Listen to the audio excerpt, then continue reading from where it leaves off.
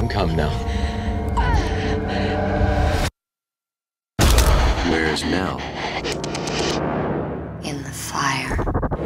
The Last Exorcism is a contemporary horror movie that hits U.S. theaters on August 27, 2010. In The Last Exorcism, an evangelical minister must perform his final exorcism on a young woman who lives on a rural Louisiana farm. Patrick Fabian stars as the Reverend Cotton Marcus. When he gets a letter from farmer Louis Sweetzer asking him to help cast out a demon from his teenage daughter Nell, played by Ashley Bell, the Reverend Marcus agrees to help. He also asks the documentary film crew to come along to film the entire process. The exorcism turns out to be anything but routine. Reviews for The Last Exorcism began coming out several days before the movie's release. Overall, the reviews were generally favorable. The Last Exorcism garnered a 70% rating on Rotten Tomatoes Tomato Meter on August 26, 2010, and scored a 62 on Metacritic.com. Critics seem to agree that The Last Exorcism works as a faux documentary, with Hollywood Reporter critic Michael Rechtshaffen calling it the Linda Blair Witch Project. Rechtshaffen goes on to say that the sturdy performances in The Last Exorcism go a long way to make up for those awkward moments until it all goes to hell with a terse shocker ending. Entertainment Weekly's Owen Gleiberman says The Last Exorcist is about the dark side of piety, the cultish wrath that can emerge out of the high and the mighty. At the center of it all, once again, is a teenage girl's gnashing wrath. Gleiberman adds, however, that the movie is like The Exorcist without a spine tingling catharsis. Bottom line, if you're a fan of faux documentary style horror movies a la Paranormal Activity and The Blair Witch Project, you might enjoy The Last Exorcism. Variety critic John Anderson says The Last Exorcism is a novel horror thriller clever enough to seduce unbelievers while satisfying the bloodlust of its congregation fan base. Michael Rechtshaffen, however, cautions viewers that the PG 13 movie doesn't really deliver the sort of intense late summer kick that its young male demographic needs to embrace. For more information on this topic, visit the